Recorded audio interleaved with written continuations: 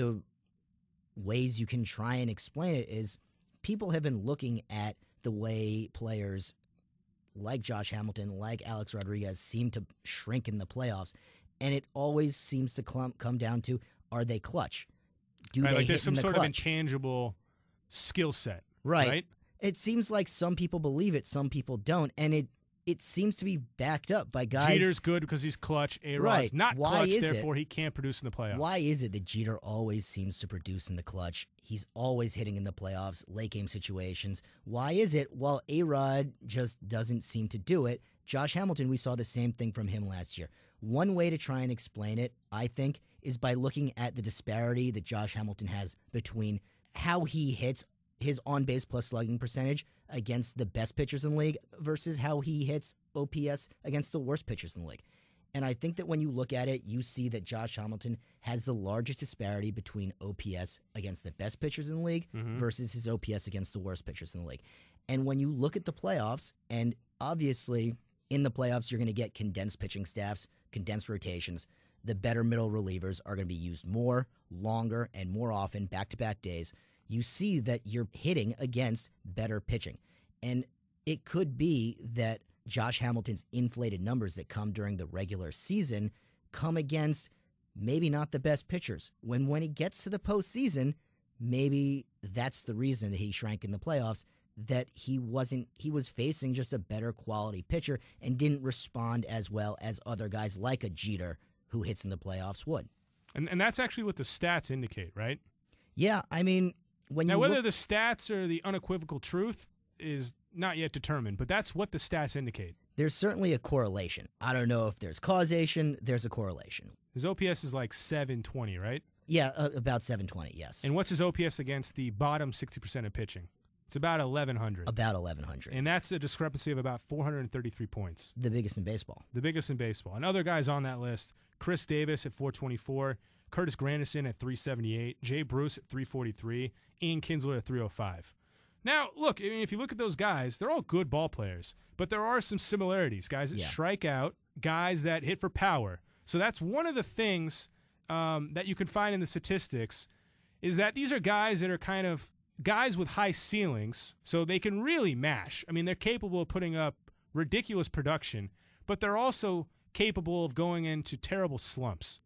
And that's kind of what this stat is is indicating is that, you know, look, Hamilton's going to be ridiculous. He's going to be ridiculous against that bottom 60%, but he's only going to be 12% better against upper echelon pitchers. But how valuable is that? That's the question. right? What I mean, the, you, the guy with the smallest discrepancy is who? Derek Jeter. Derek Jeter, he's more of a guy that's going to be in the middle. He's always going to be pretty even keel. So he's never going to put up 40 home runs.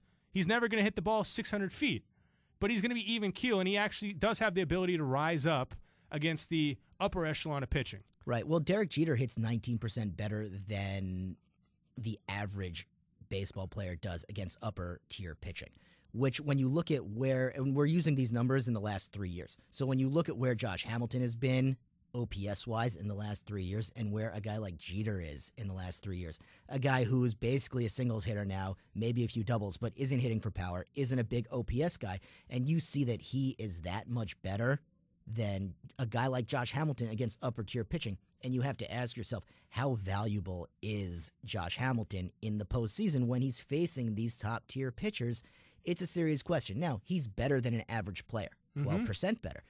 Is it worth an extra 100% more? Yeah, he's going to help you get to the postseason. But once you're there, is it worth al- it's all about allocation of resources and do you want to give 100% more money to a guy like josh hamilton who we see is going to be only 12% better than the average player against top tier pitching in the playoffs Right. So he might not lead your team once you get to the playoffs, but he's probably going to lead your team to the playoffs. And fortunately for him, baseball is a team game. So if you have one guy disappear, hopefully you have enough around him to help the team get to the next level and ultimately to win a World Series. yeah but you know what that makes me think of it makes me think of zach Greinke and the zach Greinke signing and a guy like zach Greinke who yeah he helps you get to the playoffs but you know what pitching wins in the playoffs and he's going to help you win in the playoffs I think that's a huge factor when you have to look at which of these teams you think made out better in the signing. I agree. I mean, ultimately, the pitcher has more importance once you get to the playoffs. I mean, what's the old adage? pitching wins championships. Well, look at the Giants. I mean, pitching and defense. Look at the Giants. They've Look at the Giants. unbelievable in the playoffs recently. With How about very- the Diamondbacks?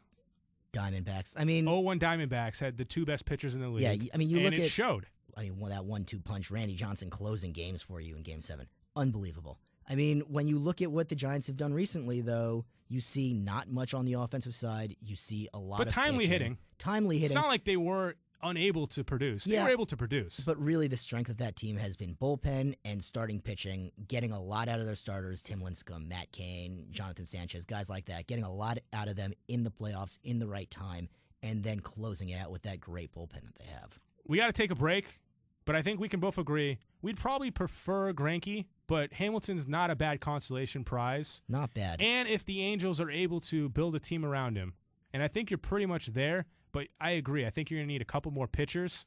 You need a, at least one more arm.